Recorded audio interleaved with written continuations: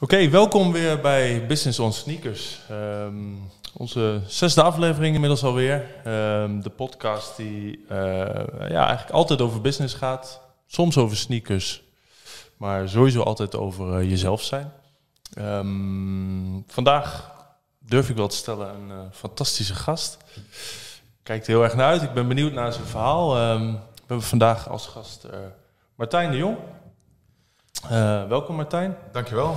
Blij Fijn dat je zijn. bent. Ja, super. Ehm, ja, ik denk uh, fantastische gasten voor ons. Uh, mooi verhaal, mooie verhalen heb ik ook van Mitchell uh, Zeker. al begrepen. Dus misschien wil je beginnen, Martijn, met ja, jezelf eens te introduceren.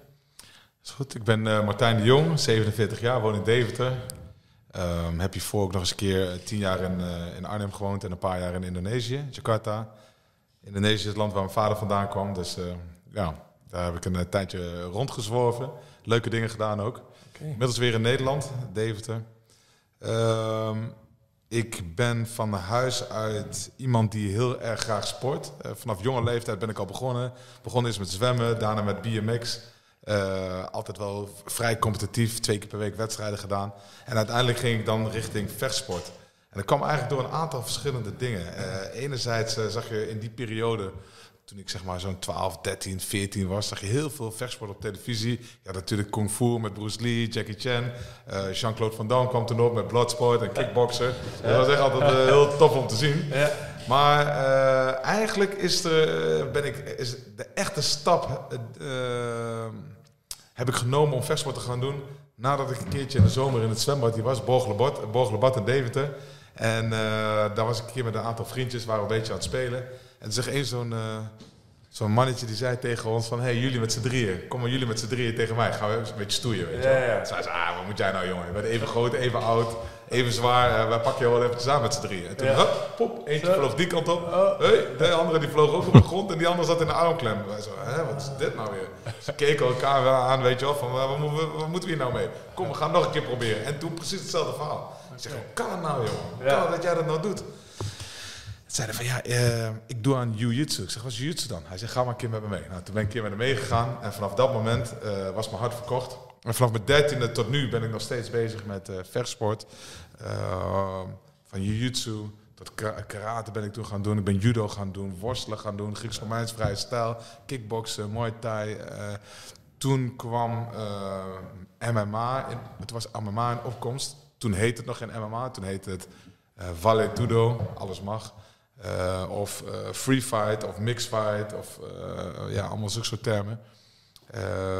uiteindelijk is dat mixed martial arts geworden, een combinatie van verschillende vechtsporten. Maar in die periode heb ik dat zelf moeten uitvinden. Dus ik ging het, de basis, het jiu-jitsu waar ik mee was begonnen, dat nam, daar nam ik dingetjes uit die ik dacht van, hé, hey, dat werkt wel in een echt gevecht. Uit het karate, wat ik toen gedaan heb, Kyokushin karate, daar haalde ik dingetjes vandaan. Ik, uh, ik, ik, ging toen judo doen, worstelen. Sommige dingen werken wel, sommige dingen werken niet in een echt gevecht. Uh, een mooie tijd erbij. En toen ben ik heel veel, ik noem het maar even, stage gaan lopen in het buitenland. Ik ben van... ben naar Amerika geweest, ben naar Hawaii geweest om te trainen. Ik ben heel veel in Japan geweest, in, in, in ik denk een keertje of tachtig. heel veel in Tokio, maar ook in andere steden. En uh, ja, zo is mijn, uh, mijn journey een beetje begonnen. Uh, en vanuit daar ben ik les gaan geven, mensen gaan trainen, dus professioneel ook. Ik ben mensen gaan managen, ik heb een eigen wedstrijden ben ik gaan organiseren. en uiteindelijk ben ik terechtgekomen bij Fitar, een start-up waar ik nu heel erg veel van mijn tijd aan besteed. Het is een, uh, een tech-startup, maar daar kan ik later nog wat over vertellen. Ja. Ik, uh, ik heb mijn intro weer veel te lang gemaakt. nee, maar meestal... ja, ja. Ah, de meeste mensen doen niet zoveel als jij, dus dat uh, klopt wel een beetje bij, uh, bij je intro. Ja. Hey, en ik, als ik naar mezelf kijk, ik kwam voor het eerst ergens vechtsport, nou, niet dat ik echt veel met vechtsport doe, maar dat ik ging kijken, was K1. Ja. En waar was een beetje K1 in jouw verhaal dan? Was dat ergens... Nou, toen jij ik heb zelf nooit K1 gevochten. Ik heb heel veel getraind met K1-vechters. Helemaal in de beginperiode dat ik uh, ging kickboksen. nam Jan Loomulder nam me mee. Uh, weer, drievoudig wereldkampioen kickboksen ook. Uh, naar Bullis Gym in Renen.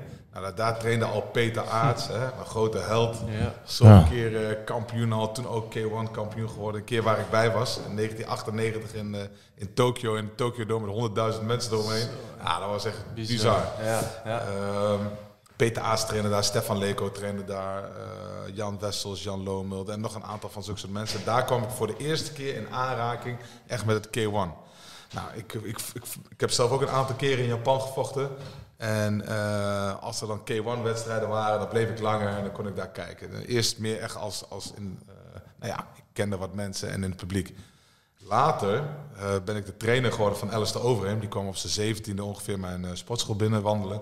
En is eh, tot zijn dertigste gebleven. En in die periode is hij ook een keer eh, K1 kampioen geworden. Sterker nog, hij is de laatste K1 Grand Prix champion geworden. En daar heb ik hem onder andere ook in begeleid. Ik deed voornamelijk de, game, eh, de gameplans en dergelijke.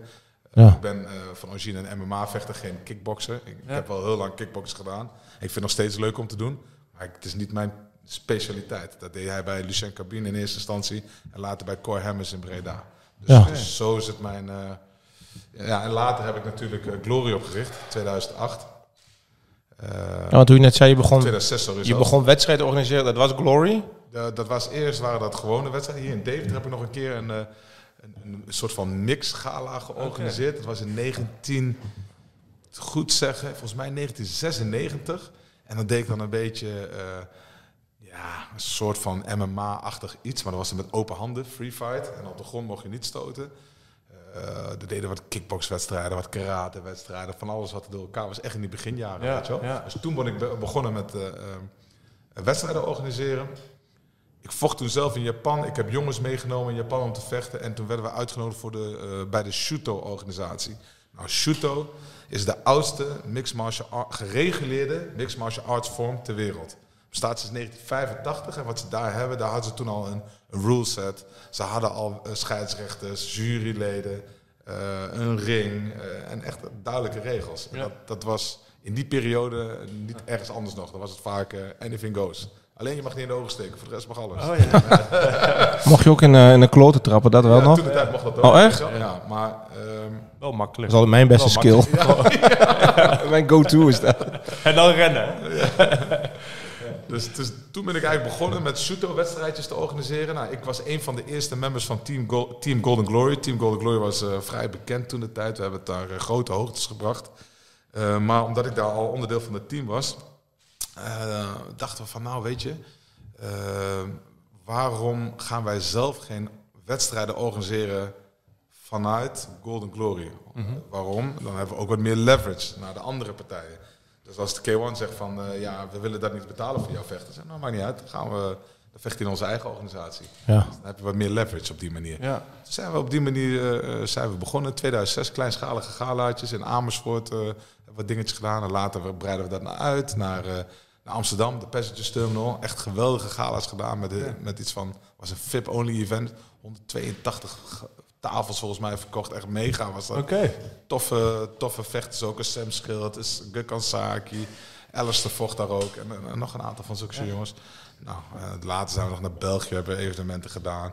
Rusland hebben we evenementen gedaan. En toen nog een keertje in Amsterdam. En vlak daarna hebben we het verkocht aan de huidige eigenaar. Ja, dat is nu de glory die we nu, Zoals nu we kennen met... Wat is o- over hem gaat weer, toch? Nu Ja, vechten tegen... tegen, eh, tegen Rico Verhoeven. ja. Ja, ja, ja. ja. Oh, maar hoe is hij? Hij is 40, 41 nu? Ja, hij is over de 40 volgens mij, ja. Ja. Hij is wel iets groter trouwens dan in jouw tijd volgens mij. Hij is nu echt... Ja, eh, ik denk het niet. Ik dacht dat hij in mijn tijd was hij nog wel weer Ja? groot. Toen ik Ja, ik K1 zag vocht, toevallig- was hij wel heel mega groot, ja.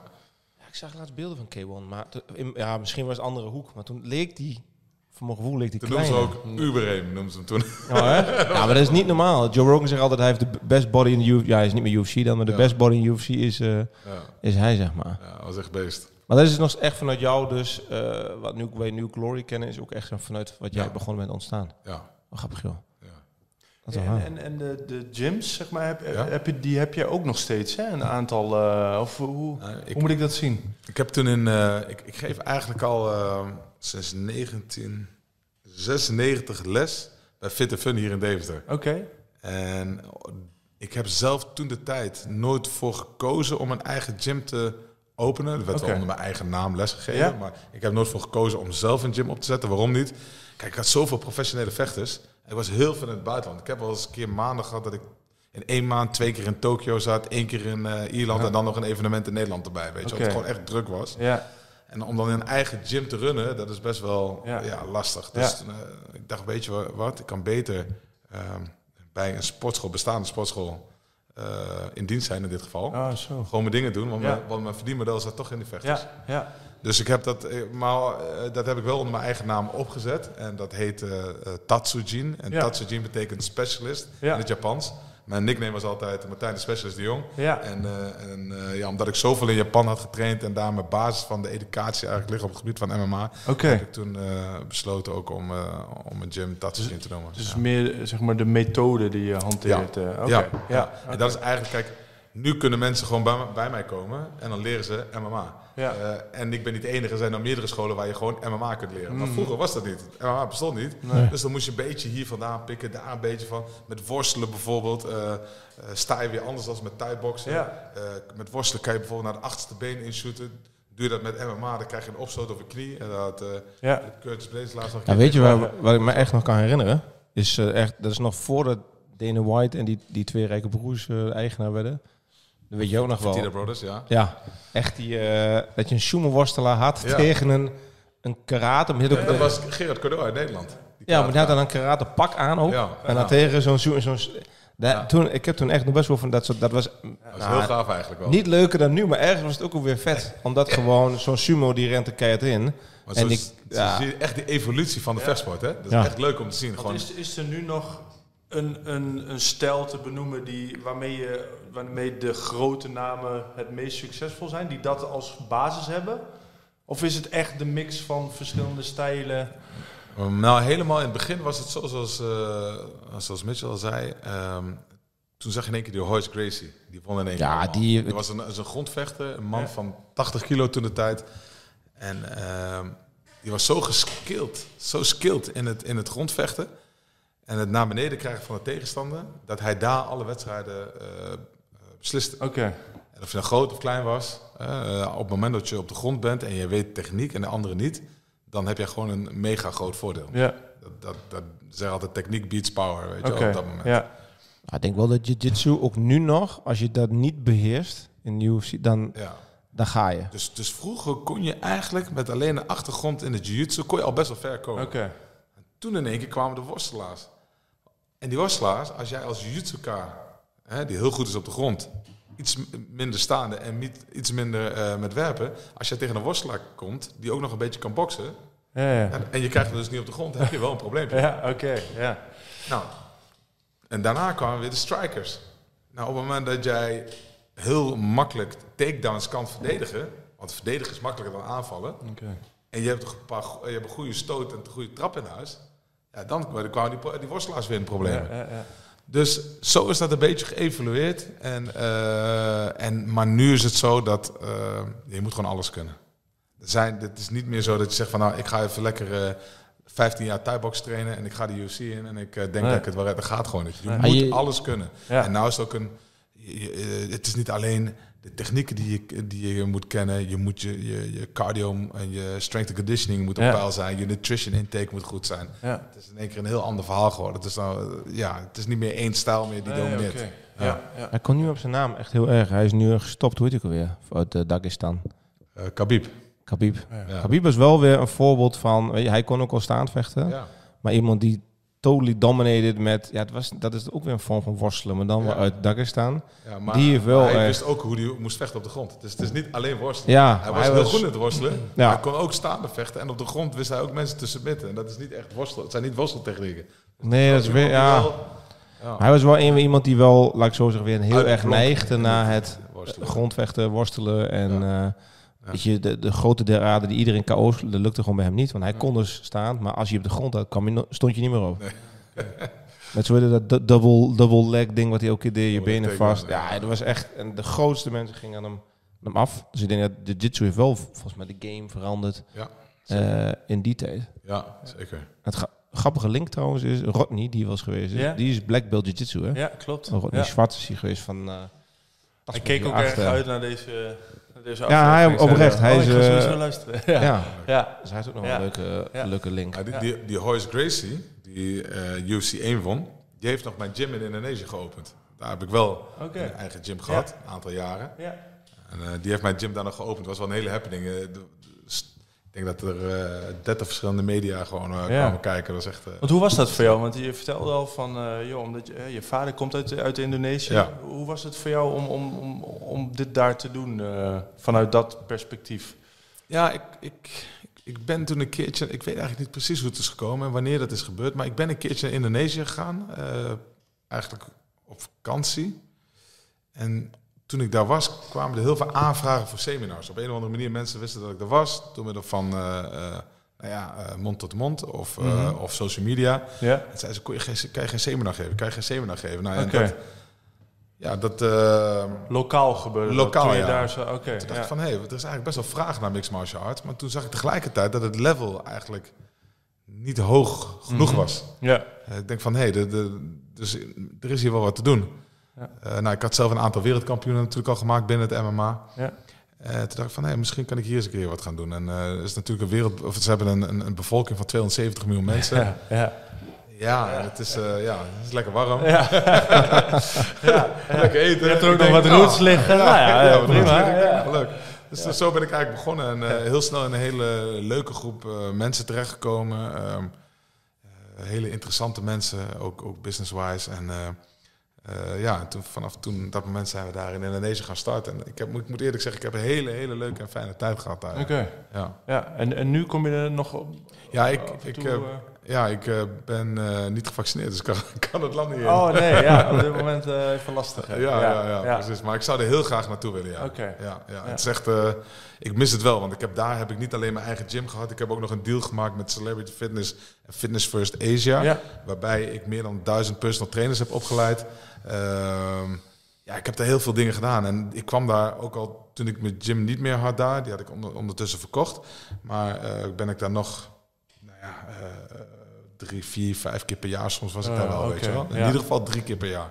Heel veel mooie contacten ook Ja, echt leuke en, eh, contacten en, en vrienden, vriendschappen opgedaan. En, eh, nou, Ja. nou, dus ik, ik, ik mis het eigenlijk wel. Nou, ik Ja. ben al een tijd niet geweest. Ja, oké. Ja. En nu, eh, zeg maar, homebase hier, Deventer. Ja. Eh, hoe, hoe, hoe ziet je eh, gezinssituatie eruit? Wil je daar wat over vertellen? Vrije Oh, ja. tijd?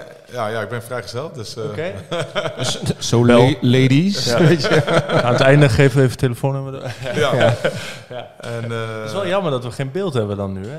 Even wat foto's, Foto's. plaatsen. Ja. En eh, nou ja, ik woon in Deventer. Mijn ouders wonen hier, familie wonen hier, veel vrienden. Ik geef hier les ook bij Fit Fun nog steeds. Dus, Oh Ehm, Woensdagavond, ben nog steeds niet geweest. Ik heb, eh, ik, ik heb dat- vanuit vechtsport heb ik Tatsujin, hè, dat heb ik een beetje opgebouwd. Ik heb eh, mensen die voor mij lesgeven in Amsterdam, in Nijmegen, in Goor. Nou, ik zelf doe Deventer, weet je wel. Ja. Ehm, ik heb me- een, een jongen nog die in de UFC vecht, uh, Marcin Pragnio. Hij vecht daar 20 november weer in Las Vegas. Dus eh, daar ben ik druk mee bezig. Maar eigenlijk waar ik het meeste tijd aan besteed op dit moment is eh Fitar. Eh, Fitar Smart Mirror is een product wat ik samen met iemand anders heb, ben begonnen in 2018. Oké. 2019 eh, is daar al heel ja, hebben we daar een, prototype van, van ontwikkeld. Het is een interactieve fitnessspiegel. Ehm, daar kan ik er misschien straks nog wat meer over vertellen. Maar dus later is daar een, een, een investeerder bij gekomen, op vrij vroeg al. Toen hebben we dat eh, professioneel gelanceerd. En nu eh, zijn we Nice. vol gas daarmee bezig om dat in de markt te pushen. Niet alleen in Nederland, maar ook internationaal. Ja, oké. Ja. Ja. Ah, mooi. Ja, genoeg te doen. Ja, dus. genoeg te Eh, doen. Ik zit bij, eh, Echt niet stil. Maar ben, je, ben je altijd, want hè, als je jouw verhaal hoort vanaf, eh dan weet ik veel, 16 of zo. Ben je altijd zo druk geweest? Want ik, toen jij kwam, zei, wat doet hij? Het is wat ik zei, heb je even? Ja. Weet je, wat heeft hij allemaal gedaan? Zei, nou, heb je nog meer even? Ja. Ja. Maar ben je altijd, ik heb idee dat je altijd... Ja, eigenlijk wel ja. Ik zit nou terug te denken, maar ik ben... Het is, ik heb nooit stilgezeten. Nee, ik was altijd wel bezig. Heel veel sport ook toen de tijd. Ik, ik had toen een periode, vanaf vroeger al, Ja. toen ik zeg maar zwemmen en, en, eh, en fietscross deed. Toen zwom ik dus drie keer per week. En ik deed één keer in de week trainde ik fietscross en twee keer in de week deed ik wedstrijden. Ja. Dus dat, toen was ik ook zes dagen in de week Ja. bezig. Ja. En, dat is nooit eigenlijk anders gewe- Is dat echt geweest. uit jezelf? Of, of- Ja, ik vond het gewoon leuk. Ja, mijn, mijn vader en mijn moeder stimuleerden het wel. Oh, en vooral wel, met fietscross. Mijn vader die ging altijd met me mee. eh, die, ging, die bracht me naar de training toe. Die bracht me naar zaterdag naar wedstrijden, zondag naar wedstrijden. Dus die offerde eigenlijk alles op. Ja. Eh, dus die hebben dat altijd heel erg gestimuleerd. En, eh, ja. maar ik, ik, ik heb het altijd leuk uit mezelf. Ik vond het gewoon leuk om te trainen ook. Ja. Dus ik snap ook niet, heel vaak hoor je vechters van... Ja, eh, ik had maar eh, zes weken om voor te bereiden. Ik ja, zes weken? Je traint toch al eh, Ja. twaalf jaar? Zo, ik, ik, ik vond het altijd leuk om te trainen. Ik trainde altijd. Ja, dus dat, dat, ja, en dat, dat, dat is het trainen. Maar daarnaast ook dingen ondernemen, ontwikkelen, bouwen van nul tot iets, weet je wel. Dat, dat vind ik echt leuk. Ah, jij hebt wel een beetje, hè, wat ik uit jouw verhalen haal, is, ja, ik wil niet zeggen fuck it mentaliteit, maar ook alweer een beetje wel. Maar je bent wel, als je een idee hebt, doe je het ook gewoon. Ja. Ik moet heel erg denken aan dat 90s party daarom. Ja. En dat kan, nee, maar dat is, Oh ja, dat is ook nog. ik ken, dat, dat is hier in Deventer. En ik ken het, maar ik, ik wist niet dat het van hem was, totdat hij een keer vertelde. Maar, eh, en dat kan natuurlijk nu even niet door corona, maar Ja. dat heb jij toch ook gewoon een keer, dat, hoe jij, vertel eens hoe dat ging, dat vertelde je toen een keer hier. Nou, ik kom dus... eh, ja, ik heb... Ik, toen ik in, eh, in mijn jeugd luisterde heel veel naar hip-hop en R&B. Yo, MTV Raps. Ja, ja, ja. ja. Zo, oké. nou, Ja, nu ga- En, eh, Dan gaan we. hij gaat nu even freestylen. Ja, en we dat, uit die tijd hebben we Sugar Cane, Ja. weet je, die hier toen in Nederland de hip-hop bracht. Dus het waren echt toffe, leuke tijden. En Dr. Dre at Lover. Dr. Dre, ja, at Lover, ja, zeker, Ja, die. ja. Dus eh, ja, dat, dat keek ik altijd. Zondag trainen, eerst kraten. En daarna naar Ja. huis, eh, broodje met ei eten en Yo MTV Raps kijken. Cool. Ja. Maar eh, daar hadden we het een keertje over met een aantal vrienden, weet je, die ook uit, die, eh, uit, die, uit dat tijdperk stammen. Ja. We zaten hier op de brink op het terras. En ik zei van, hey, weet je wat eigenlijk tof is? We zouden eens een keertje een, een, een feestje moeten gaan organiseren, man. Gewoon met die muziek, alleen die muziek van vroeger. is toch tof? Is leuk, weet je. Hey, dat nummer nog? Hey, dat nummer, Ja, weet je. We ja, zaten ja, een beetje ja. Zei ze, ja man, moeten we doen. Toen dacht, toen dacht ik al gelijk bij mezelf, ja, leuk verhaal. Jullie gaan dat sowieso niet doen. dus, nou, laat ik eens eventjes gaan kijken. Wat heb ik nodig? Ik had natuurlijk altijd Glory georganiseerd. Nou, dat zijn mega evenementen. Mhm. En sommige evenementen kosten eh 1 miljoen plus om te organiseren. Dus ik dacht, ja, wat kan zo'n evenementje nou? eh, dat stelt er eigenlijk niks voor. Dus ik ging kijken, nou, wat heb ik nodig? Ik heb muziek nodig, ik heb geluid nodig, ik heb wat DJ's nodig. Een, een, eh, een, wat security. Ik heb een ticketservice nodig. Nou, we hebben Instagram en Facebook. Voor de rest hebben we tegenwoordig niet meer nodig. Ja. Ah, fuck it, ik ga het gewoon doen. Weet je? Dus toen ging ik gewoon een beetje kijken, wat is een leuke locatie? Nou, toen hebben we geko- gekozen voor Doc H2O. Ja, oké. Eh, Volgens mij, hoe heette dat feestje dan? De Jam, hip-hop en R&B. Ja, dat ja. is twee, drie jaar geleden volgens Ja, mij. klopt. het. Ja, voor corona, na corona. Ik baalde toen serieus of dat ik daar niet naartoe kon. Ik zag het serieus voorbij komen. En ik, ik, ik ga ook altijd naar Classic, dus een beetje vergelijkbaar denk Ja, ik. In, eh, ja, zeg maar eh, Hengelo en... eh, ja. dus eh, oké, maar wanneer is de volgende dan? ja Of nou, is- misschien, het kan nou weer volgens mij. Hè? Dus, of is het laag pitje? Ja, het is dus door corona Ja, het gestopt, maar op het moment dat alles weer een beetje losgaat Leuk, en eh, wat Ja. langer door mag gaan, dan vind ik het wel weer leuk om te organiseren. Ja, ja. Ik, was, ja, ik heb er denk ik vijf gedaan of zo. Oké. kwam uit heel het land, echt leuke sfeer, Ja. weet je. Mensen uit die periode, ik had het gezegd, gezegd 21 jaar en, plu- eh, Ja. en ouder, weet je wel. Ja. Dus dat is echt, eh, echt tof, ja. Dus dat, eh, dat deed ik gewoon als hobby. Ja. Ja. Ja. ja, maar het is wel mooi dat je het eigenlijk gewoon doet. Maar dat Ja. hoor je een beetje in al jouw verhalen. Het is, Ja, hè, je doet het ook goed blijkbaar, anders lukt het allemaal niet. Maar Ja. ik vind wel- ik hou er wel van. Gewoon, je, gewoon proberen. En, Ja. Nou, ik, Ja, ik zeg altijd, je kan beter spijt hebben van de dingen die je gedaan hebt, als dat je spijt hebt van dingen die je niet hebt gedaan. dat is bijna die van mij. Dat is hè, bijna die van jou, maar dan gewoon, gewoon op zijn Nederlands. Ja, ik doe hem ook op zijn Nederlands. Ja, ja. Ja, En ik zeg wat liever een oeps dan een wat als. Ja. Ja, Zo van, ik kan heel lang denken, wat nou als ik een feestje organiseer? Doe het dan gewoon, ja. ja. Misschien verlies je een paar duizend euro, dat, dat zou ja, kunnen. Kan. Ja, Maar ja, eh, je, weet, dan wel. Je, ja. weet, ja, maar je weet in ieder geval dan of het wel of niet kan. ja, ja. En ik denk dat heel veel mensen, eh, eh, dat is iets waar wij trouwens best wel veel over hebben in, in de podcast, heel erg blijven in, hangen in de wat als. Ja, heel veel. Maar dan krijg je, en dan krijg je tien jaar later op dat feestje... Ah jongen, dat idee van Uber, man, dat had ik al. Ja, ja. Nee, maar dat, eh, dat je- Airbnb, dat had ik al lang bedacht. Weet je een hele moet je. Dan moet je ook vragen of ze Green Taxi kennen. Green Taxi? Green Taxi. Ta- Green Taxi, nee. Green Taxi had wel het idee van Uber. Oké. Die is vijf jaar volgens mij voor Uber gestart. Mhm. Op precies dezelfde manier, maar is niet gelukt. Dus ook al had je het even Uber, er Ja, waren nog zes precies. mensen. Ja. En we kennen allemaal alleen maar Uber. Ja. Dus even om... Soms mensen denken, oh, eh, weet je, Mark Zuckerberg had geluk met Facebook. Ja, ja, ja. Of ik weet eigenlijk van Uber niet bewijs van. Ja, Nee, nee, nee. Er zijn zes anderen. En Green Taxi had het bijna gehaald. ja. Maar we kennen allemaal Uber. Dus er zit ook nog een heel groot gat tussen. Ik had het idee al, Ja. doen. En dat het ook nog En lukt, zeg maar. Maar het stukje doen. Hè, waar toevallig gisteren ook iemand hier een gesprek bij mij gewoon die vroeg een beetje advies van ik weet niet wat ik wil met, mijn- met mijn leven en eh, ja dat is altijd mijn enige advies is eigenlijk ja eh, gewoon doen en, Ja. en eh, wat als denken en of dat nou gaat om een baan of nou een feest organiseren Mhm. een bedrijf eh, eh, een meisje uit eten vragen een, een jongen Ja. weet ik veel Ja. gewoon gewoon doen En ik roep dat nu heel stoer hoor. Top 28 deed dat ook niet. Daarna klikt iets en van fuck it, weet je. Straks ben ik, lig ik dood te gaan en dan denk ik 50 Ja. of 85 dingen na. Wat, wat nou als ik... ja, dat, dat vind ik zo veel enger dan, dan doen. Ja. dat is iets wat heel vaak terugkomt in de podcast. Hè. Wij noemen dan een beetje jezelf zijn. Ja. Maar ja, heel veel mensen... Ik vind dan soort van dat je dan niet jezelf bent als je dat niet doet. Nee, het helpt natuurlijk ook wel als je gewoon enigszins weet van waar je moet beginnen. Of, eh, hè, Ja, dat maar ik je... weet het ook vaak niet hoor. Ja. Ik doe het gewoon. Ik, ga, ik doe het gewoon. Ja. Ja. Ja, ik doe het gewoon. Maar Fitter dan. Fitter, dat Ja. bestond niet eens. Een smart mirror voor fitness. Ja. Wat? Eh, Niemand hè, bestaat niet. Weet je wat, fuck it, we gaan gewoon doen. Wat Ja. gaan we- weet je ons eerste prototype eruit zag? Gewoon houten balken gewoon aan elkaar geschroefd. Een 3D-camera erbovenop geschroefd en een grote PC die erachter stond. Oké. Ja, ja, Ja. we moeten ergens gaan beginnen. We moeten Ja. gewoon doen. Ja, we- bestaat niet. Nou ja. En nu? Waar, waar staan jullie nu mee? Vertel even, want ik, ja, je hebt een paar keer al een tipje van de sluier. eh, Ja, ja nou, Fitter, de Fitter Smart Mirror is een interactieve fitnessspiegel. En op die spiegel heb je een aantal functionaliteiten. Je hebt onder andere eh, meer dan 1500 professionele workouts erop staan. Oké. Dan klik je die gewoon aan. Je kan het zien als, je kan het zien als YouTube-achtige hè, on-demand Ja. video's zijn het als het Ja. ware. Maar wel met een 3D-camera die je bewegingen registreren. Oké. Dus hoe, hoe actiever jij meedoet, hoe intensiever jij meedoet met de, met de oefeningen, hoe meer punten je daarvoor krijgt. Dus altijd een klein beetje gamification aan. Ja. Eh, dan hebben wij een, een, een workout builder op onze app, waarbij je je eigen workout kan bouwen. eh, met de keuze uit meer dan 5000 verschillende oefeningen. En als je dat te moeilijk vindt, dan kan je ook zeggen van, nou weet je, ik vraag aan mijn personal trainer of hij dat voor mij wil bouwen. Oké. Zou je geen personal trainer hebben, dan zijn er een aantal kant-en-klare workouts die wij al voor je hebben gemaakt. Die kan aanklikken en gelijk kan beginnen. Dus dat is echt het fitnessgedeelte.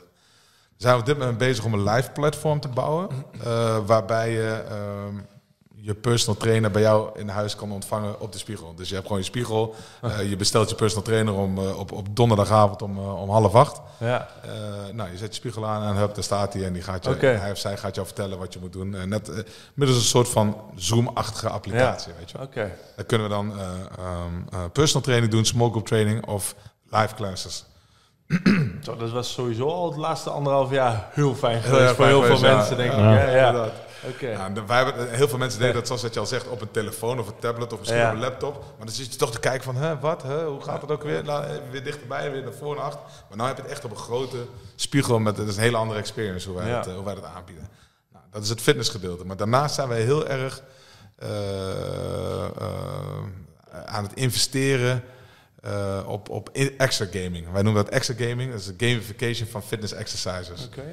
Dus, en dan moet je denken aan eh, cognitieve reactiespelletjes op de, op de, op de spiegel. eh, die logo's die voorbij komen, die je door middel van het touchscreen scherm moet wegdrukken. Oké. Eh, shadowboxing, je hebt een bokszak of een, of een pads trainer in de spiegel. Daar moet je op reageren. Die zegt bijvoorbeeld jab, straight, left hook. En dan moet je op reageren. Doe het goed, krijg je punten. Doe het verkeerd, gaan de punten af. Alright.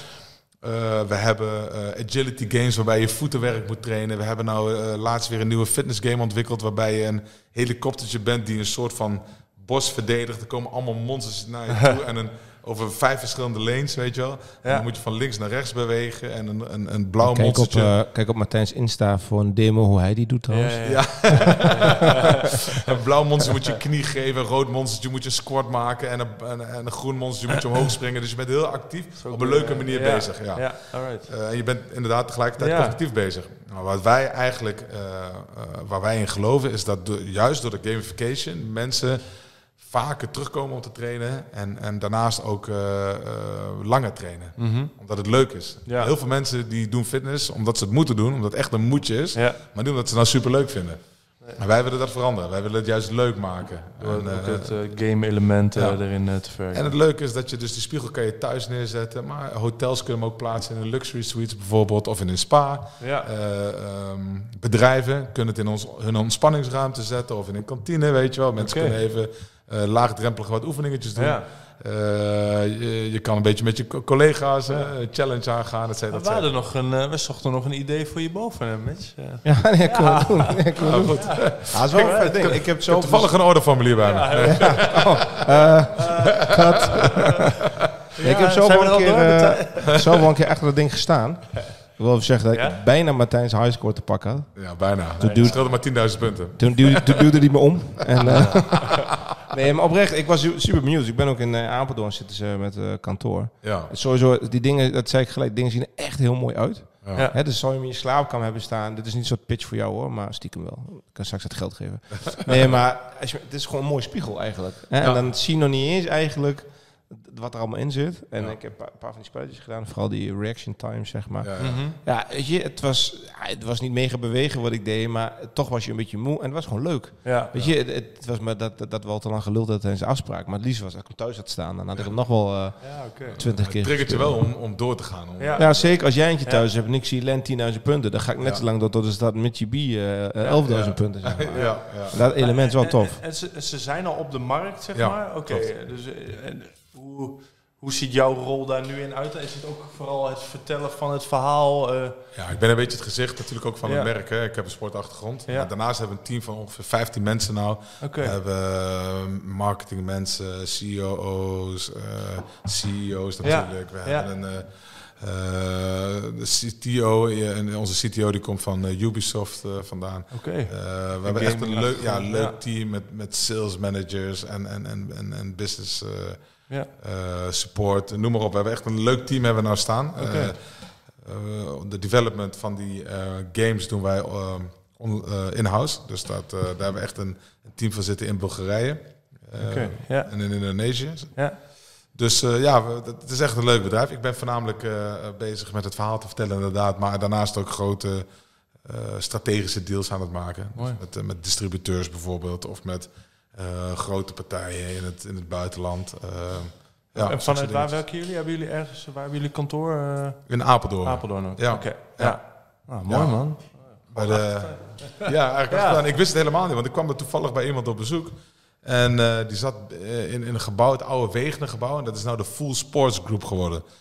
Ik kwam er een keer kijken. Ik denk, wat is dit nou, jongen? Heel gaaf, grote, grote campus met, met eh, ruimtes voor studenten waar ze kunnen leven. Er zijn de studenten die eh, voetbal willen leren. En eh, die komen vanuit Amerika hier naar Apeldoorn om te trainen. Er zijn studenten die willen golf Ja. trainen hier, hockey, noem maar op. Over van, Oké. vanuit de hele wereld komen ze, komen ze daar.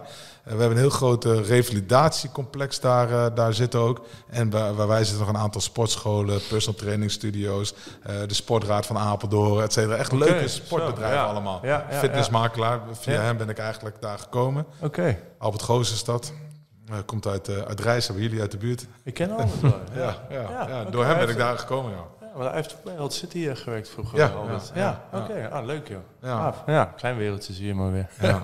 Ja, iedereen kent iedereen een beetje. Hè? Hey, en Martijn, wat is een beetje jouw... ehm, ben ik benieuwd nou. Jij bent altijd met sport bezig geweest.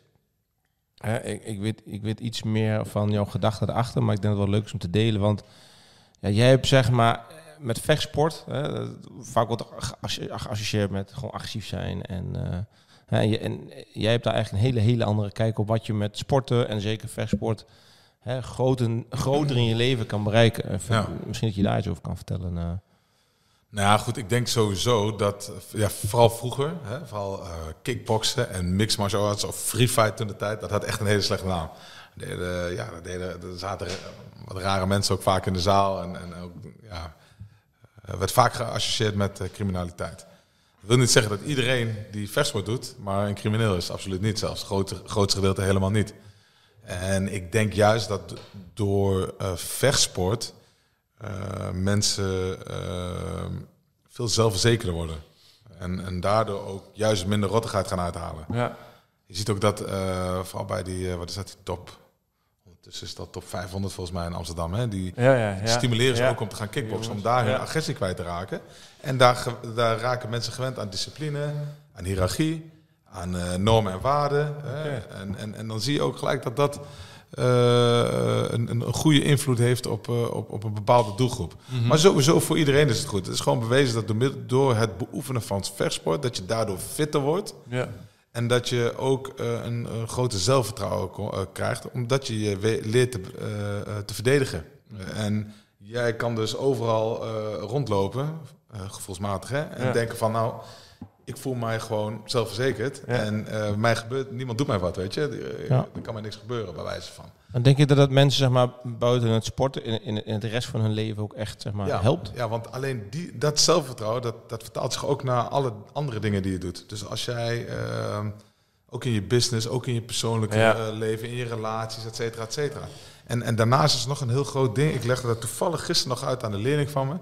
Ik zei van, wat wij doen, als wij mixed martial arts doen of kickboksen, wij eh, zitten altijd in een bepaalde soort van stress. Dus- Want als je aan het sparren gaat, gaat sparren, kijk, je kan bijvoorbeeld aikido gaan doen of tai chi, dat is heel rustgevend, dat is hartstikke goed. Alleen wat wij doen, is best wel, komt best wel stress bij kijken. Want als je tegenover elkaar staat met die handschoenen aan, Ja. beetje in, Ja. en eh, zweet voor je hoofd, en eh, die anderen die kijken en die wil je gewoon keihard voor je kop slaan. Ja. En dat geeft een bepaalde stress. En daar leer je dan ook mee omgaan. Dus je leert heel goed met stress omgaan. Ik heb bijvoorbeeld in het verleden werkte ik bij de SNS-bank. Heb ik een keer een bankoverval meegemaakt. Dat mensen binnenkwamen met helmen en pistolen eh, in de hand. Helmen op in de hand. Die sloegen Ja. met een bel door de, door de ruit heen. Maar ik bleef heel rustig. En Gewoon waarschijnlijk omdat ik gewoon eh, dagelijks met een soort van stress te Ja, maken ja, heb. ja. Ja. Dus je leert beter met je stress omgaan. En daarnaast leer je ook omgaan met verliezen. Kijk, want heel veel mensen, eh, ja, iedereen vindt het fijn om te winnen. Maar wat gebeurt er als je een keertje verliest? Wat ga je dan doen? Ja. Ga je dan bij de pakken meer neerzetten of ga je dan door? En wij verliezen elke training een aantal keren. Dus of als je een keer een klap voor je kop krijgt, dan denk je shit, ik had mijn dekking beter moeten houden. Eigenlijk al een, een minpunt, een verliespunt. Ja, ja, ja. Word je op de grond gegooid, shit, weer wat verkeerds gedaan. Komt die bovenop, hup, hup, verwurging of een armklem, ja, afkloppen. Wat ga je dan doen? Ga je dan bij de pakken neerzetten en, eh, en huilen? Ja. Of zeg ik ga weer opstaan en ik ga het nog een keer proberen. En ik ga het nog een keer proberen. Ik ga het nog een keer proberen. Ik ga het nog een keer proberen. Net zo lang, hè, totdat jij bereikt hebt wat je wilt bereiken. Ja. En dan zie je ook vaak dat mensen die net komen, die moeten bijvoorbeeld eh, heel vaak afkloppen. Die moeten tien keer in de training afkloppen. En dan de volgende training wordt het acht keer. En na een maand is dat vijf keer per training. En dan is het dat ze niet meer hoeven af te kloppen. En daarna gaan ze andere mensen laten afkloppen. Dus er zit, is een soort van proces. En dat maakt ook dat je als, al, eh, als eh, persoon in het dagelijks leven beter kan eh, Ja. functioneren. Daar ben ik heilig van overtuigd. Ja, eigenlijk wel een mooie link naar met de quote waar we een beetje over hadden. Liever het oefenen wat als. Of jouw iets eh, Nederlandse versie. Ja. Er zit gewoon een heel mooi link in. Ik denk heel veel mensen die misschien daarmee worstelen, nooit hebben gedacht van, oh, dat, dat zou ik uit sport kunnen halen. Dan ga je Ja. misschien nog eerder naar de psycholoog, weet je, Ja. dat je denkt dat Ja. hier zit. Maar eigenlijk wel mooi van, weet ik veel, dat zou voor heel veel mensen wel een soort... Vooral eh, ook jeugd, denk ik. Als je zoekende bent nog naar jezelf en, en Ja. eh, jezelf vertrouwen en eh, weet je, veranderend lichaam en hoe ga ik daarmee om. En, want, want hoe, ook nu, zeg maar, ik heb ook het idee dat het- wordt steeds meer mainstream. Hè? Ook misschien door, door Glory, hè? door de uitzending op tv, de aandacht die Ja, er aan UFC, ja. ja. de aandacht die eraan besteed wordt. Hoe, weet, jij hoe dat nu onder jeugd is? Wordt het ook populairder? Ja. Is er meer jeugd die er op jonge leeftijd al mee in aanraking komt? Ja, ik merk toevallig in de afgelopen periode dat bij mij op de sportschool, hè, nou, Ja. het allemaal open is na corona, dat Ja, ik heel veel jeugd zie van 15 tot 20 jaar die in één keer allemaal willen trainen. oké. Ik heb in één keer heel veel jonge, jonge lui erbij. Ja. Hartstikke leuk hoor. Ja, ja, Maar dat is toch, is toch wel fijn, weet je, om te zien dat ze niet alleen maar achter die, eh, zeker. achter die controle zitten. Ja, ja, ja, ja. niet niet UFC op de Xbox, maar de Je UFC hoeft, echt hoeft tegenwoordig ook niet meer achter controle. Je hebt spiegels, alles. Je Ja. hoeft geen Oh, controles nice. meer te hebben, man. Nou, dat is maar, het, het bewegen is zo belangrijk. Hè? En als Ja. je aan het sporten bent, dan weet je zelf ook wel wat voor sport je ook doet. Je maakt een, een fijn stofje aan en de Ja. Je voelt je blij, je voelt je fijn, je Scherp, voelt je lekker, actief. scherp. Ja, ja. En, en eh, ja, dat, dat is gewoon echt heel erg belangrijk. Of je nou jong of oud bent, dat zijn gewoon hele belangrijke dingen. Je, wordt, je, je maakt de fijne stoffen aan in je lichaam, je voelt je fitter, je bent fitter. Je leert jezelf te verdedigen. En je, het- als je aan het trainen bent, kan je aan niks anders denken. denken. Als jij aan je werk denkt terwijl je aan het sparren bent, nou, dan heb je zo'n blauw oog. Ja, ja, ja. Dus je moet gewoon scherp zijn. Dus Ik je ga kan niet meer meedoen. Je kan nergens aan denken. Je kan nergens Nee, dat aan denk denken. ik En niet. Dat, dat is gewoon zo ontspannend. ja. Ja, en dat, Ja. dat trekt veel mensen ook aan. Dat is net wat je net zei ook. Ik kan echt de naam van jouw vechter in de UFC kan ik maar niet uitspreken. Marcin Pragnio. Marcin Prachnio. Maar hij is, wat is zijn afkomst ook weer? Pols. Ja, maar dat is, is dat een Poolse naam? Ja. Je kan het ook weer Italiaans, dat deed ik bijna uitspreken. Nee, ik zag ook op jouw Injo. Insta bij Martijn ook pronounced like Martian. Nee, Martijn. Nou, ik Martijn? Ja, M-A-R-T-A-I-N Ah, heb ik gezegd. Want heel veel, ja, als jij buitenlanders IJ laat zien. Dan zeggen ze, hè, Martigin. Martigin? Ja. Dus Tatsujin, ja, dat mag wel. Eh, Ma- martial arts. Dus ik heb eh, in- in- vaak in, in het buitenland zeggen ze Martin of Ma- Martin. ja. Martijn. Martin, ja. Dus, eh, dus ik, heb, ik heb er maar Martin. daar zou jij minder last van hebben, denk ik, hè, met Mitchell Brown. Wat dat betreft, jij, jij hebt een goede vechtnaam. Wat dat betreft. Eigenlijk wel, hè? Ja, is nu te laat. Nu de rest, nu de rest nog. maar- Nee, ja, er zijn vechters boven de 40. Ik kan nog, ik kan nog. Nee, ik weet wel dat... eh, maar ik, ik heb wel een, in- toen ik in Nederland kwam, wel eens echt mensen gehad die zeiden Mitchell. Met goal. Omdat ik CH heb. Alleen, ja, jullie als normale mensen weten, oh, dat is tsch, Mitchell. Maar Golden Bruin. ik heb echt mensen gehad die zeiden Mitchell. En nu nog als ik een bedrijf bel en ik zeg Mitchell Brown, omdat ze het niet verwachten, hoor ik heel vaak zo in de achtergrond, "Ja, ik heb een eh, Michael Brown van jou of zo?" Michael, Michael Brown? Michael Brown, weet je, en dan, omdat ze gewoon de naam niet verwachten of zo. Maar uiteindelijk kunnen de meeste mensen wel, eh, denk ik, wel uitspreken. Ja, bij jou eh, met je Indonesische achtergrond verwacht ik ook niet Martijn de Jong. Veel Nederlanders worden het ook niet trouwens, maar Veel Nederlandse kan het niet. nee. Maar je vertelde net wat jij zei, want jij zei, er is geen publiek. 20 november heb jij weer in, Ja. in Amerika met hem een, Ja, een, een gevecht, hè? ja. Toen vertelde je wel zonder publiek waarschijnlijk van dat je hem vroeg van ja mij lijkt gelijk weet je ja, wij kijken daar gelijk naar eh, een beetje oldschool Conor McGregor moet ik inmiddels zeggen maar Ja, hij opkomt van die publiek en eh, wat ook bij Nick Diaz was het hele publiek Diaz Diaz helemaal los ja. we hadden het over van ja maar hij moet dus zonder publiek vechten dat lijkt mij maar jij zei wat hij zei weet je Ja, in die is dat in zone Amerika nog steeds? Zonder- Ja, sommige wedstrijden met publiek, sommige wedstrijden zonder publiek. Eh, het ligt ook aan per staat, maar ik heb ja, en, en per organisatie. Maar eh, ja, dat, dat, dat is niet altijd nog met publiek. Soms wel heel groot en soms niet. Ja. Maar wat jij zei, van, ik, kan je, ik kan me voorstellen als jij niet gewend bent, als je nog nooit in de ring hebt gestaan of in een kooi hebt gestaan, dan, eh, dan kan ik me voorstellen dat je denkt van ja, is er helemaal niks aan. ja Maar op het moment dat je in de kooi staat, dan heb je een soort van superfocus. Oké. En dan hoor je niks meer. Er kunnen er 10.000 man staan schreeuwen, of 50.000 of 100.000 man, die hoor je gewoon niet. Je hoort niks. Je hoort alleen je coach. ja Dat is de enige die je hoort. Voor de rest hoor je niks. Je krijgt een soort van superfocus. Oké. En, en, en, en je kan dan alleen alles uitschakelen, behalve wat, dat wat je wilt horen. Ja, ik zou dus denken, als ik vergelijk met voetbal, dan hoor je Ja. heel vaak voetballers zeggen van, hè, het staat 1-0 Ja. achter, Ja. negende minuut, en dan de op. twaalfde man, Ja, en dan, hè, daar blijkt, misschien is dat hè, groter en, en meer Ja, een teamsport of zo. Zie Maar, je ook langer misschien, hè? Je bent dan ook langer... Kijk, ik kan me voorstellen dat als jij een Nee, vrije trap, een vrije trap neemt, dat Ja. die persoon niks meer hoort. Ja. Als je daar klaar Ja. staat, dan zie je ze focussen. ja. En dan lopen ze naar die bal en dan horen ze echt geen publiek meer, hoor. Spanningsboog natuurlijk met Juist. vechten is natuurlijk veel, veel kleiner. nou, veel en ik denk, ja. ik denk dat vechten wel ietsje stressvoller is in de zin van, als ik die jij zei, als ik mijn focus twee seconden kwijtraak, heb ik waarschijnlijk, eh, ben ik gelijk Ja. knock-out, zeg maar. Dus denk je daardoor, Ja. zij zijn denk ik veel gefocuster dan, dan welke, ook bij een vrije trap, dan welke. Ja. Misschien bij een penalty, maar dan nog, daar kijk je ook echt publiek in bij een penalty. Hè? In principe bij hun, ja, ze kijken er trouwens altijd publiek in. En die komt, daar ze natuurlijk rond en Ja. zitten eromheen. Maar die zie je helemaal niet. Hm. zie je echt helemaal niet. Ja, bijzonder, hè? Dat jou dan wel hoort. Want ik heb nog gevallig dat stukje nog teruggekeken wat jij zei. Weet niet of zijn laatste gevecht was of die daarvoor. Dat jij eh, eh, riep van de Southpole, weet je, van Ja, eh, ja, switch ja. stance. ja, en dat deed hij gelijk, hè? Ja, en dat hij dan vertelde ja, en dan de eerste beste eh, hoek was het volgens mij. Eh, leven, leventrap. ja, ging hij knock-out. Ja, En ja jij maar dat, is grappig, maar Martje wist het helemaal niet. Want ik, Nee. later waren ze bij de interviews en we hadden het er nog niet over gehad. Dus dan komt de, de, de kooi uit, hij moet gelijk interview hier, interview daar. Zeiden van, wie riep er nou eigenlijk Southpaw? Hij zegt, huh? Ja, weet ik eigenlijk niet, zei hij.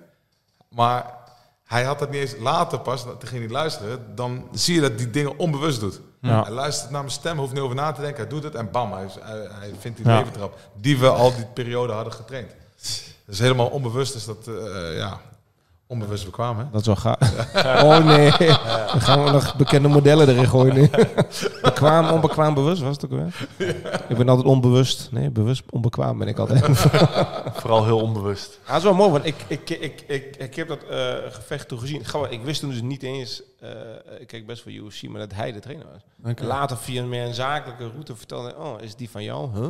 Ja, Toen ben ik die beelden pas gaan kijken en dan zie je jou net helemaal zo, eh, jij bent trouwens ook behoorlijk gefocust ja, ja. aan, die, aan, die, aan die rand van die kooi. En dan- daarna nog een keer dat gevecht teruggekeken met dat stukje. ja. Waarschijnlijk is dat ook gewoon de next best thing, zeg maar. Als je zelf geen, ja. niet, niet meer Ik vecht. moet wel zeggen, eh, toen dan- ik stopte met vechten, was ik echt depressief. Een Ja? week lang. Kwam Oké. bijna het bed niet uit. Oké. En toen dacht ik, fuck it, we moeten door, weet je wel. Ja. Ehm, Maar dat is de next big, thing. Precies zoals dat jij zegt. Eh, niks kan het overtreffen als je zelf in die, in die kooi of, die of in die ring staat. Ja, ja. Ehm, die highs en die lows, die zijn gewoon zo extreem. Mhm. Eh, als je wint ben je zo mega blij, ben je helemaal de man. Maar als je verliest ben je gewoon helemaal naar de kloten. ja. Maar dat geldt een beetje hetzelfde voor de trainer. En als je dan zo intensief met iemand samenwerkt voor jarenlang... en dan in die afgelopen maanden voorafgaand aan het gevecht... zo aan het focussen bent, zo je... Want ik maak natuurlijk dat gameplan, ik denk Ja, alles ja. uit, denk Ja. de tactieken uit. Ik denk, oké, welke technieken moet hij gaan trainen voor Ja. deze tegenstander? Daar werk je helemaal naartoe. En dan, dan, dan is het moment daar, ja, dan ben ik wel echt zenuwachtig ook. Hey, neem ons eens een beetje... Wie is zijn volgende tegenstander? Azamat Murzakanov. hij heeft nog nooit in de UFC gevochten. Hij heeft laatst een contract gekregen, gekregen bij, van Dana White tijdens de Contender Series. Oh ja.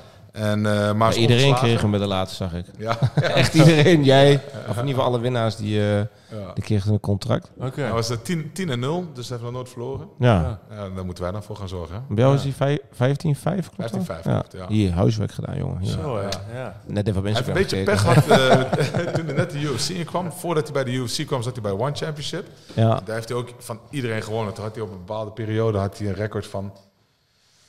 eh, wat was het nou? 12 of zo? 12 en... Nee, of 11 en 1 of zo? Of ik weet niet, 12 of 13 en 1. Ik weet het niet meer precies. Maar toen, Ja. ja. 13 en 1 had hij. En, dan, en toen had hij volgens mij 11 in de eerste ronde gewonnen ook zo. Ja, het is echt wel een hele goede vechter. En, en neem ons eens, mee, want hij gaat nu vechten tegen die naam die ik niet uit ga spreken. Ik noem die keer gewoon AZ, want ik hoor een A en een Z. maar hij, eh, eh, hoe ga jij dan urenlang beelden van hem kijken? Ja, En, en dan ga jij met jou vechten, soort van de camp. hè? Hoeveel weken is het van tevoren? nou ja, dat, dat, wij, weet, wij weten het meestal een week of acht van tevoren. Ja. En dan ga Dat je gelijk fijn, en dan een gaan soort van gelijk- studie van maken van hem. Nee, ze trainen al het hele jaar. Dat heeft hij net verteld. Nee, maar jij, weet niet wat een, jij weet niet wat een camp is. Dus, eh, Nee, klopt. ik ben echt een fanboy hoor, dus dat is heel erg dit. Camp, ja, groep 8 camp. Ken ik. Ja, Maar, de camping. ging we naar Ameland. Maar Ja. ik denk niet dat dit hetzelfde is. is iets anders. is iets anders. Maar jij ja. gaat dan echt helemaal eh, eh, eh, zwaktes, sterktes en dan pas je de hele Ja, camp. ik maak een hele SWOT-analyse van die, van die tegenstander. Ja. En dan, dan zeg je, nou, oké, deze technieken gaan we trainen. En in de wedstrijd zou je dit en dit en dit moeten doen. En bij sommige vechters werkt dat heel goed. Hè? Die houden ervan om dat van tevoren te weten. Zoals een Alistair. Ja. dat graag zien. Dus ik, ik, dit dan niet een SWOT-analyse zien. Eh, wat we gingen trainen en, en hoe we dat gaan toepassen in de, in de wedstrijd. Marloes Koenen, die heb ik ook eh, drie keer wereldkampioen gemaakt. Die vond het ook altijd fijn. Marcin hebben we het mee gedaan. Maar die zei toen van, weet je, niet aan mij laten zien. Doe het gewoon, weet je. Doe jouw ding. Ik doe gewoon precies wat jij zegt. Ja. Ik wil er niet over nadenken, anders gaat hij het overanalyseren. En dan komt hij in de wedstrijd, dan wil hij per se iets doen. Terwijl op dat moment is het misschien niet het juiste moment. Want de goede techniek op, het juist, op het verkeerde moment is nog steeds de verkeerde Ja, oké.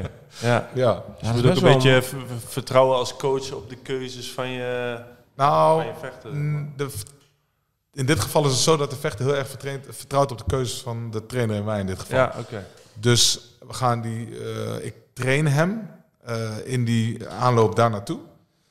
En onbewust slijt hij die technieken al steeds in. Ah, dus ik zeg, oké, be- bepaalde dingen doen we niet, bepaalde dingen doen we wel. Maar daardoor kan hij heel vrij die kooi instappen. Hij gaat er gewoon in en hij heeft niet... Een, sommigen willen echt een gameplan hebben. Maar wat nou als iemand in één keer rechtsvoor gaat staan? Oeps, weet je wel? Ja, dan gaat mijn hele gameplan is fucked up.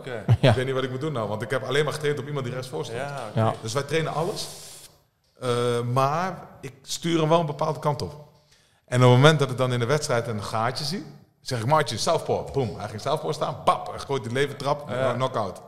Toen kwam Ja. eh, eh, DC kwam nog naar me toe ook, weet je wel. Hij zei van, hé, wie zei dat? Hey, niet normaal, zei hij. Hij zegt, Ja. hij zei southpaw, hij reageerde klein en hij trapte. Maar dat, ik zei alleen southpaw, dus hij ging rechts voor staan. En die leventrap, die hadden we al geoefend. Dus die hoef ik Ja. niet meer te roepen. Hij zag hem gelijk. Ja, Boom. ja, ja. Zag hij die open. Ja, die gaat zakt ook Oh, ja, eh, dan, dan- ja. per direct in elkaar. Dan zeg snap je ook dat jij eigenlijk in, in precies dezelfde focus zit als jouw Ja. vechter op dat moment. Want op Ja. het moment dat jij dat ziet en roept, Ja. moet hij eigenlijk dan ook al meteen, anders is het moment ook alweer uh, Precies. weg natuurlijk. Dat was met Alistair ook heel erg. Nou had ik dat ook. Als zij bijvoorbeeld uh, rechtstreeks de linkerknie, bo- boom, hup, knock-out. Ja. Ja, heel vaak heb ik dat met hem ook gehad. En Marloes had het ook altijd. En denk je dat dat... Niet dat zij slechter zijn. Ik ga zeker niet slecht praten over die vechters. Zeker eentje die in Deventer zit. We houden van ze allemaal. We love you. nee, maar eh, ziet hij dat zelf niet? Snap ik daarmee bedoel? Is hij te gefocust om te zien, oh wacht even, weet ik veel, als hij, een, als hij dat doet, dan laat hij zijn dekking vallen, weet ik veel. Ziet hij dat zelf niet? Of? He- Heel veel dingen zie je wel, maar heel veel dingen zie je ook niet. En ehm, je hebt natuurlijk je basis, hè? Dus van je, ziet, je ziet wat er gebeurt om je heen. Je, je, je hebt zelf een vechtintelligentie. Maar het is toch anders. Eh, als jij een voetbalwedstrijd ziet, dan weet je al precies wat die andere moet gaan doen. Maar dat zien ze niet op het veld tegelijkertijd misschien. Ze zeggen altijd, de beste Ja, ik- staan aan wal. Dat klopt soms ook. Ja, nou moeten ze bij voetbal is het natuurlijk makkelijker, want ik kijk van een camera Ja. bovenop en diegene kijkt daar. Ja. En dat is, ja, dat jullie nou, niet helemaal hetzelfde. Maar ik heb, vraag me dan altijd af en dat hè, als zo'n vechter eenmaal bezig is, Ja. eh, is, hij echt, is hij daar bewust mee bezig van, oh, ik, eh, zie, de, laat hij zijn hand afzakken? Of denk je dat het voor hem automatisch gaat, maar jij Soms wel, de maar- bigger picture, zeg Ja, maar. ik, ik heb natuurlijk eh, nou ondertussen eh 34 jaar vechtervaring. Ja. Duizenden wedstrijden gezien, duizend, sit- honderdduizenden situaties misschien wel meegemaakt. Eh, heel veel getraind, eh, heel veel op hoog niveau ook gecoacht. Dus ik zie bepaalde dingen. En, en die jongens die doen het toch nog een stukje eh, korter. En daarnaast is het zo. Het is altijd, zeg altijd een storm met een glas water, noem ik het altijd. En ik kijk van de buitenkant, ik zie precies wat er aan de hand is. ja. Zo moet je Ah, zit ook middenin. Je zit er middenin. Je zit midden in de stresssituatie. Je gaat niet even twee seconden nadenken, wat je net al zei. Wacht heel even, wat deed je nou net? Ja. Dan ben je En op het moment dat jij, eh, om, op, dat, dat groeit natuurlijk ook, hè, dat vertrouwen. Dus als, je, als ik een aantal wedstrijden met iemand heb gedaan en ja, hij deed precies wat ik heb gezegd en Ja. hij wint daardoor, dan krijg je dat vertrouwen ook. maar. Ja. En dat is heel erg belangrijk, dat vertrouwen. Ik zeg niet dat ik de beste trainer ben in de zin van ik, ik ken de meeste technieken of ik ken de meeste Mhm. trucjes. Nee, maar ik weet wel dat ik ze iets kan meegeven, ook een bepaald vertrouwen, waardoor zij tot hele grote hoogtes kunnen stijgen. Heb je, heb je nog een bepaalde doelstelling als trainer zijnde? Van joh, dit wil ik als trainer ook nog bereiken? Ik zou het wel heel vet vinden om een eh, UFC-kampioen te, te hebben. Ja, want ik heb, eh Alistair is dan eh, Dream-kampioen geweest, Strikeforce-kampioen, K1-kampioen. eh eh Siar, een andere jongen, die was Shuto-kampioen. eh Marloes is Strikeforce-kampioen geweest. Oké. En, eh, en, eh, Zet er wel wat, wat Ja. titels zeg maar op je Ja, dus- staan. dus, maar UFC-kampioen Ja. heb ik gehad. Oké. dus dat lijkt, me wel, eh, dat lijkt me wel leuk. dat is wel Ja. de, de, die je nu hebben, is het wel die nu op dit moment. Ja, UFC is natuurlijk massive, massive nu Ja. geworden. zeker. Ja. Hey, en een beetje een dikke vette fanboy vraag van eh, UFC, hè? Wat is er eigenlijk eh, met Conor McGregor? Wa- waarom zijn downfall? Even jouw opinie als coach. Dus vergeet even, hè, echt op, op coachniveau. Wat denk jij? Daar ben ik echt super benieuwd naar iemand die er echt Ja, in goed. zit. Kijk, bij hem is het zo, en dat merk je bij heel veel mensen. ehm, die jongens komen vanuit het niks, hè? Mm. hadden geen geld, niks. Helemaal niks, nul. Eh kutbuurt, ellende alleen maar om zich heen. En die krijgen in één keer krijgen ze populariteit. In één keer worden ze eh, heel goed. En eh, verdienen ook nog eens een keer heel veel geld. Ja. En die combinatie van heel veel geld en heel veel adoratie, Ja. dat is vaak eh, killing. Ja. Alleen maar ja-knikkers om je heen. Eh, je doet zogenaamd alles goed. Je kan alles maar zeggen. Je voelt je god. En dan gaat het mis. Ja, Ja. Hoogmoed komt voor de val. Die, eh, die spreekwoorden zijn er niet Ja. voor niks. Ja. Nou, hij is natuurlijk Ja, wel iemand die extreem veel succes heeft. Veel Extreem veel geld. succes. Hij kan nergens lopen en iedereen die hangt aan zijn, eh, aan zijn lippen. Ja, maar je ziet ook wel anderen die het wel... eh, John Jones bijvoorbeeld. die laat zich wel negen keer arresteren, maar voor de rest... Nee, maar precies. Maar zo zie je maar weer.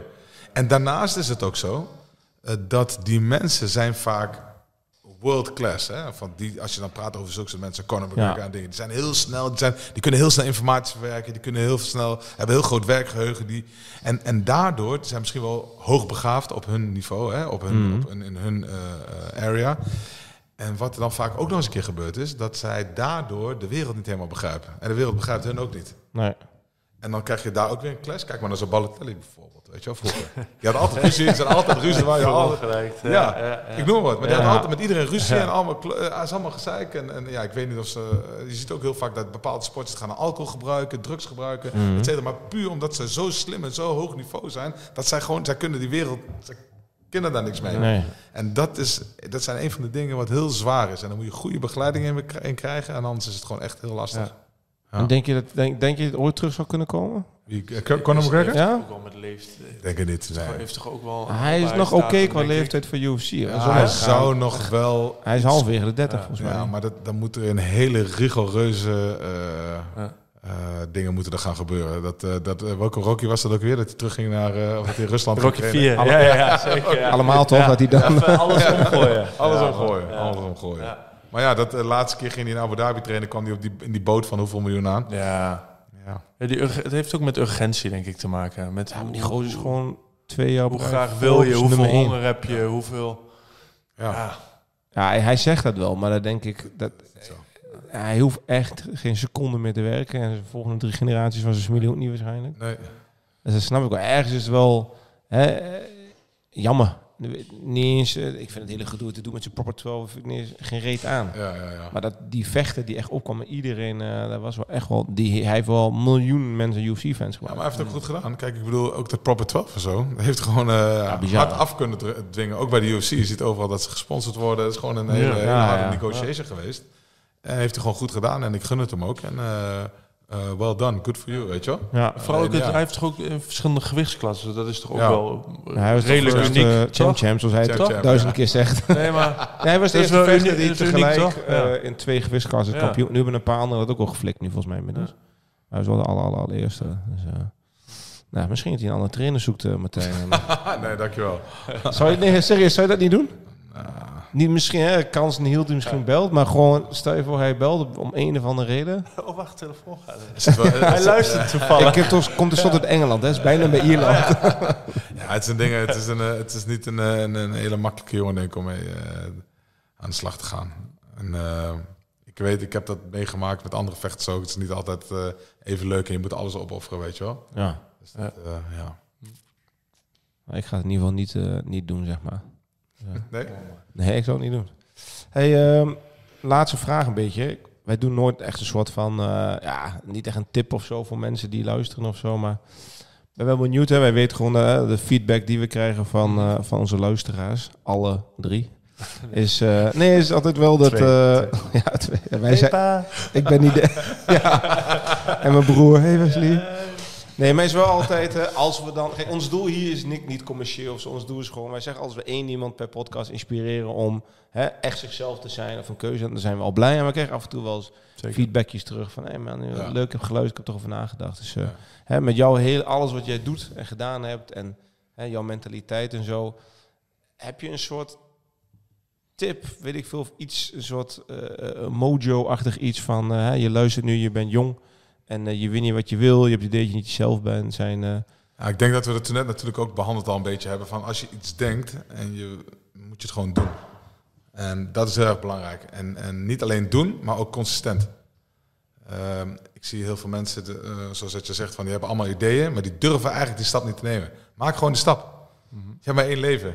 Jij, Ja. bent, de- jij bent de schrijver van je eigen boek. Ja. Ja. Dus maak gewoon die stap, doe het gewoon. En, en, en geef niet op bij, het eerste, bij de eerste tegenslag. Gewoon consistency. Ga door, ga door, ga door, ga Ja. door. Niet opgeven, niet opgeven, niet opgeven. Uiteindelijk ga jij, kom je als overwinnaar uit de strijd. En dat, dat weet ik zeker. Als je maar niet opgeeft, gewoon doorgaan.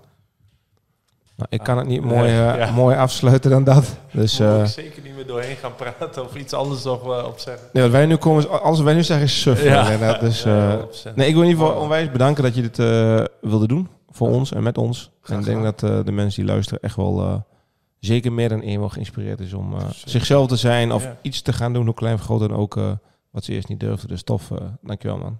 Graag gedaan. Ik ben eh, blij dat ik je heb mogen aanschuiven. En eh, ja, ik hoop dat, eh, dat ik in ieder geval één persoon heb kunnen inspireren.